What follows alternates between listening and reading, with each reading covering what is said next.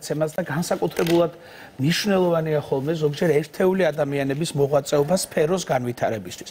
და თუ ჩვენ თანამედროვე სათეატრო პროცესზე ვსაუბრობთ, არსებითად მნიშვნელოვანია გოგი მესხიშვილის სკოლა, რომელიც რაღაცა თანამედროვე სულსბერს იმ სათეატრო სცენოგრაფიას, რაც ყველაზე მნიშვნელოვანია დღევანდელ რეალობაში, იმიტომ რომ ხშირ შემთხვევაში ხანდახან ქართულ თეატრს სიძველის ელფერი გადაკრავს ხოლმე და ეს სიძველის ელფერის მოსაშორებლად ერთ-ერთი მთავარი სწორედ სცენოგრაფის მოღვაწეობა დაწყებული დეკორაციით, დამთავრებული ესკიზით და კოსტუმით. ამ ყველაფერზე რასაკვირველია უკვე მესამე გამოშვებას ემშვიდობება ჯერ არა ერთ წელიწადში ბატონი გოგი მესხიშვილი და სწორედ ამ მესამე გამოშვების შემაჯამებელი, ერთი წლის შემაჯამებელი საკურსოს ნახვის შესაძლებლობა მოგვეცემა 16-ში ქარვასლაში, სადაც 9 სტუდენტის ნამუშევრების გამოფენა იქნება წარმოდგენილი საქართველოს ეროვნული მუზეუმის თბილისის ისტორიის მუზეუმში და ჩვენ გასაკვირელი ბატონი გოგი მესხიშვილი გვესტუმრა სტუმრად, რომელიც ისაუბრებს ზეგინდელ გამოფენაზე და იმ არაჩვეულებრივ პაკეტებზე, ესკიზებზე, ნიღბებზე, ყველაფერზე. რასაც ახლა კადრში ხედავს ჩვენი მაყურებელი. პირველ რიგში ძალიან დიდი მადლობა ბატონ გოგი რომ მოხვედით ჩვენთან, ვამაყობთ ხოლმე. დიდი ხანია. მოდიხარ ხოლმე. გამოდინეთ. როგორი ნაკადია? აი, რითი გამოირჩევა წინა გამოშვებებისგან? ორი რამით გამოირჩევა. ერთი რომ ძალიან შრომელი ნაკადია. მე ნიძე არ ლაპარაკობ, იმიტომ რომ დრო ჭირდება სა რომ მიიღებ სტუდენტებს, რომ გაიცნო ვინ ვინ არის, რა პოტენციალი აქვს, რა შეჭirdება დახმარება, რა აზროვნება, გემოვნება, იქ უამრავი ფაქტორია. მაგრამ ერთი ძალიან მე რაც ვთვლი რომ საერთოდ ყველა პროფესია მნიშვნელოვანია შრომა და ძალიან შრომელები არიან. აი მოდიან დილას და ჩვენ შაბათ-კვირასაც მუშაობენ, როცა არ უნდა მუშაობდნენ და მუშაობდნენ ზოგჯერ ღამის 12 საათამდე ზიან და სიამოვნებთ ეს მუშაობა და ერთმანეთთან ძალიან კარგი დამოკიდებულება აქვთ, ეხმარებიან ერთმანეთს და ჩემთვის სიამოვნება მისვლა კლასში და იმათვის სიამოვნება რომ ჩვენ საშიასანიშნავი ლექტორები გვყავს ამ ჩემს გარდა ვასწავლით სხვადასხვა რაღაცებს. თანამედროვე ხელოვნება კეთი შავგულიძე ტექნიკური თეატრი ის რა ქვია სამ განზომილებაში დიზაინი კოსტუმი ხა ვიყვანე შესანიშნავი პედაგოგი კოსტუმი და კონსტრუირება და ტექნიკა და ასე შემდეგ. მოკლედ მე ძალიან მაყოფილი ვარ ამ სტუდენტებით და იმედია რომ უფრო შორს წავალ ერთი მომენტია რომ კოვიდმა ძალიან შეგვიშალა. ნახე ერთ წლიანს ვეძახით ამას მაგრამ ფაქტიურად ნახე ერთ 7 თვის ნამუშევარი ებდო კოვიდმა ძალიან შეგვიშალა დახურული იყო და შემდეგ და შემდეგ. მაგრამ აი თავისი შრომის უნარიობით უნარით და აი შრომით რა ქვია სურვილით იმიტომ თვითონ აი რო სიამოვნებ თვითონ მუშაობა ეტყობა ნამუშევარსაც ხო მე მგონი ძალიან შორს წავიდნენ იმ მომენტიდან როდესაც ჩემ სკოლაში მოვიდნენ და აქ მინდა აღნიშნო რომ უმაღლესი განათლება აქვს ყველას, მაგრამ ეს უმაღლესი განათლება არავითარ ცოდნას არ აძლევს ამათ. რომ მოდიან გვიხდება იმ ნოლიდან დაწყება. შენ შემთხვევაში უმაღლესი განათლება და თანამედროვე სათეატრო პროცესები გვერდზე გვერდზე რჩებიან ხოლმე ერთმანეთთან და ნუ საერთოდ არასავლიან რა ხდება თანამედროვე თეატრში, არასავლიან პროფესიას, არასავლ მე ვთვლი რომ უნდა გაზარდო პროფესიონალი და მე ნიჭი თავისას გაიტანს. მე ჩვენ არა გვაქვს ნიშნების წერა, სწავლა უფასოა. ჩვენ გვაქვს საუბარი, აი ესე ვზივარ მთელი ჯგუფი და საუბრობთ. ერთმანეთს უსმენთ, ვარჩევთ. მე ძალიან მკაცრი მოთხოვნები მაქვს და ვაფრთხილებ ზოგიერთ სტუდენტს რომელიც ცოტა ზარმაცობს ან რაღაცა ვაფრთხილებ რომ თუ ესე გააგზელე შეგიძლია თავისუფლად წახვიდე. მე პრობლემა არ მაქვს ამასთან მაგრამ ეს ჯგუფი ძალიან საინტერესო გამოდგა იმ ხრივ რომ ძალიან მონდომებულები არიან. და ეთყობათ ეს პროგრესი თვითონაც გზნობენ რომ ეკითხები მე ვხარი აი გზნობთ რომ წინ წახვიდეთ იმიტომ რომ თავის პოტენციალი რომ მოდიან არიციან ეს რა შეუძლიათ ჯერ კი. აი რა შეუძლია და სად შეუძლია წავიდეს არიციან თვითონ. ძალიან დაბალ დონეზე არიან.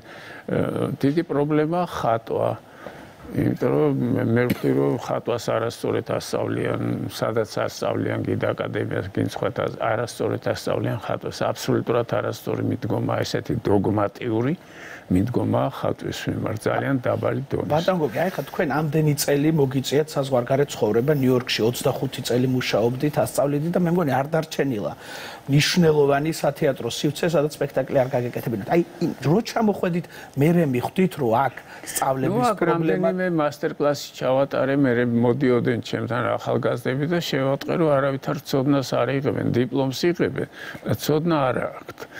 და მე მე სკოლა გადავწყვიტე სკოლის გახსნა, რასაც რამდენიმე წელი მოუნდი, გავხსენი ეს სკოლა და ეს უკვე მესამეა. პირველი ვინც იყო ის, ისინი ყველა წარმატებით მუშაობენ სხვა. ერთ-ერთი მათგანი პედაგოგიც არის უკვე თქვენ. ერთი ჩემთან თანაშემწეა, ხო. აი ზუსტად ამ კურსდამთავრებულებზე მინდოდა მეკითხა, ისინი უკვე რეალიზებული არიან ძალიან კი, იმიტომ რომ ძირითადად ყველა ქართულ თეატრში მუშაობენ, მიღწეული აქვს საზღვარი წარმატებები, საზღვარეთაც მუშაობენ, ჩემ სკოლამ შარშან წინ მოიგო მსოფლიო კონკურსი კვადრიენალე რომელიც იგივე რაც ვენეციის ბიენალეა აი მსოფლიო ოსკარი კინოში რაც არის აი ეს მოხდა სხვადასხვა ეს ვერ გაიაზრა საზოგადოებამ კეთი შაუგულიძის იდეა იყო ეს აფხაზეთზე გაგვეკეთებინა თემა ძალიან სერიოზულად იმუშავეს.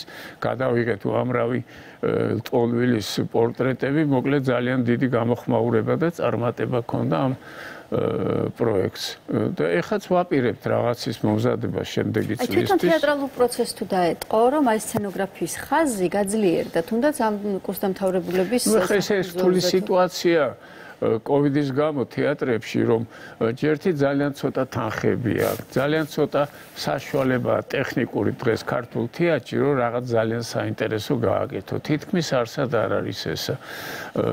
ძალიან ცოტას უხდიან ამ ხატრებს. ბევრი წავიდა ტელევიზიაში თქვენ ციცით ერთ ჩემი სტუდენტი თქვენთან მუშაობს, ბევრი კინოში მოღვაწეობს და შემდეგ. ამიტომ თავის თავის პოტენციალის გამოვლენის საშუალება ძალიან დაბალია დღეს, ძალიან დაბალია. იმედია ეს გამოსწორდება რაღაცნაირად, იმიტომ რომ მე რო უყურებ ახლა ევროპის თეატრს, ან იგივე რუსულ თეატრს, აი 10 ნაბიჯით, 100 ნაბიჯით წინ არიან ჩვენზე. ჩვენთან არ არსებობს ესეთი ცნება, როგორც ექსპერიმენტალური თეატრი. რაც მამოუძრავებელი ძალაა საერთოდ თეატრის იქიდან იწყება ყველაფერი.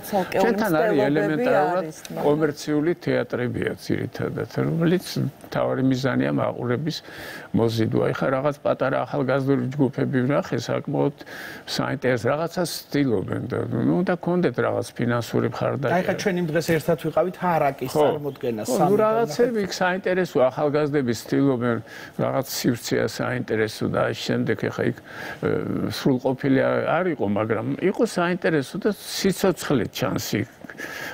ხო და მე მგონი ამ ახალგაზრდულ პროცესს იმიტომ მომავალი ახალგაზრდების არის ხა ის ჩვენი წინა ეპოქის წარმატებები მამულწურა თავისთავად და ეხლა ძირითადად მიდის იმის გადამღერება და მიმბაძველობა და ეხლა უნდა მოვიდეს სულ ახალგაზრდა თაობა ახალი იდეებით რაც ხდება ჩვენ ქვეყანაში რომ ამის გამოხმაურება იყოს რაც ხდება და ვნახოთ არ ვიცი მაგრამ ფინანსური მხარდაჭერა არის ყველაზე მთავარი იმიტომ რომ საზღვარეთ გრანტებს იღებენ ქალაქი უხდის ან გერმანიაში სახელმწიფო ეხმარება ძალიან შემდეგ ჩვენთან ესეთი სერიოზული პროგრამები არ არის, იმიტომ რომ ჩემი სტუდენტები ახლა ვინც დღეს არიან, ზოგი მუშაობს მოდაში, ზოგი კინოში მუშაობს, სხვადასხვა სფეროში მოღვაწეობენ და მე არ უშლი ხელს, რომ წავიდეს ახლა იყვნენ გადაღებაზე ორი სტუდენტი, ერთ სტუდენტ სპექტაკლი აქ ბათუმში და შემდეგ. მე ვეუბნები ეს უნდა აკეთოთ, ეს აუცილებელია, მაგრამ ეს არ უნდა იყოს სკოლის პროექტების ხარჯზე და არც ხდება ეს. ბატ მარიკამ წეგან ძალიან მნიშვნელოვანი კითხვა დასვა და ეხა ბატონბოგი თავის თავზე არ იტყოდა მარიკა სრულიად გულწრფელად და ყველა პროფესიონალი მაყურებელი დამეთანხმება აი რომ მიდიხარ სპექტაკლზე და იხსნება ფარდა და იწება წა იქ ხვდები რომ ეს არის გოგი მესხიშვილის სტუდენტის გაკეთებული. იმიტომ რომ იმით კი არა რომ გოგი მესხიშვილის გავლენით არის, არა. აი თანამედროვე სუნთქვა და გამოკიდებულება იწება.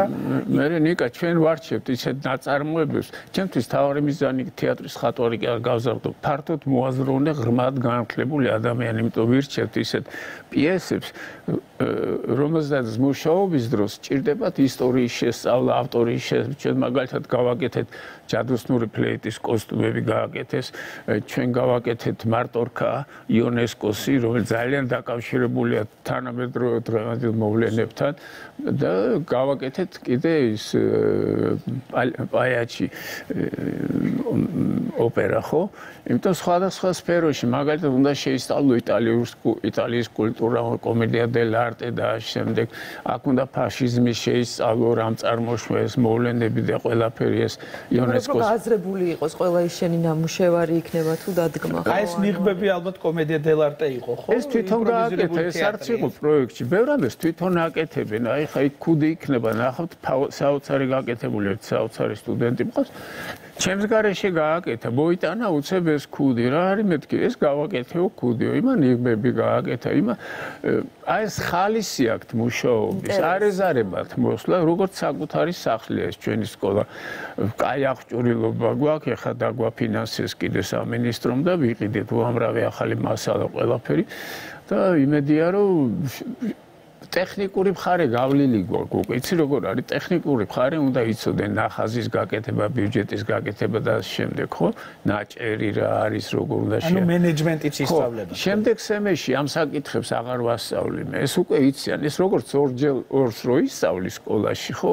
მე აღარ გჭირდება ამის სწავლა. ესეც ესეა. ეხლა ჩვენ გადავდივართ უფრო რთულ პროექტები გვაქვს, ბევრად რთული პროექტები გვაქვს, სადაც უამრავი მასალის მოძიება დაჭირდებათ.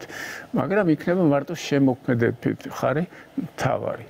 ეხა ბატონ გოგი, ჩვეულებრივ მაყურებელი გვიყურებს, ვისაც აქვს სურვილი, შეუძლია მოვიდეს და დაესწროს, ხო? 16-ში გახსნა რომელ საათზე არის? 5 საათზე, ხარვასლაში, ხვალ ვამთავრებთ ექსპოზიციას და მე გვექნება გახსნა და იმედია ჯერთი იმათი მშობლები ნაცა მოვლენ სადადიან ეს ჩვენი შვილები დილა გავიგოთ ყველა ღამე დილას მიდიან ღამე მიდიან და მე მგონი სასიამოვნო იქნება იმ ხრივ რომ ნახავენ რამდენი რომაა ჩადებული.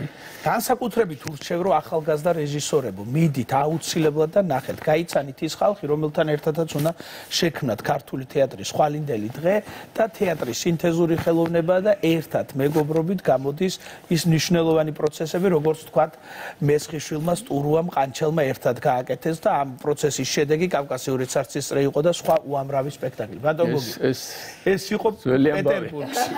ბატონო გოგი. დიდი მონდომებით და შრომის მოყარებით რომელიც ჩვენ სხვა შორის აი მე ხა ეთრის წინა ნაწილშიც როცა დავაანონსოთ თქვენი სტუმრობა გავიხსენეთ ის ჩართვა რომელიც პანდემიის პირველ ფაზაში რაღაცა ჯერ კიდევ რო გაუგებრობაში ვიყავით რომ აი როგორ გადავრჩეთ რა ძალები რა უნარები გამოვძებნოთ რომ რაღაცა წინ წავიდეთ და არ ჩავიკეტოთ და მახსოვს რომ თქვენ მაშინ წამოიწყეთ მაგალითად იტალიური ენის შესწავლა და როგორ მიდის აქ პროგრესი ეს გვაინტერესებს. ხან კარგად ხან ცუდად არა ერთი რამეს თქვა მინდა თუ დრო გვაქვს რომ ყველა პედაგოგი სინდისიერად უნდა მოექცეს თავის საქმეს, იცი?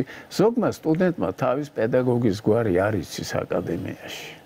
ვინ იყო შენი მე არ მახსოვს გვარი ან გვარი იცის და აუდიტორიაში არ უნდა ეს მე მგონი პედაგოგის სტატუსის შეურაცხყოფა და სტუდენტის შეურაცხყოფა. იმიტომ რომ მე პირველ სასახლის პედაგოგი მახსოვს ვისაც დავიწყე მე ხატვა და ეხლა სხვებზე აღარ ვლაპარაკობ ამიტომ მე მგონი პედაგოგმა თავის თავს უნდა კითხოს მიყვარს მე ეს ბავშვი მიყვარს რომ გადავცე რაღაცა. თუ აქვს რამე გადასაცემი რასაკვირველია ეს დიდი პრობლემა არა მარტო ჩვენ სფეროში, ეს ყველა სფეროშია.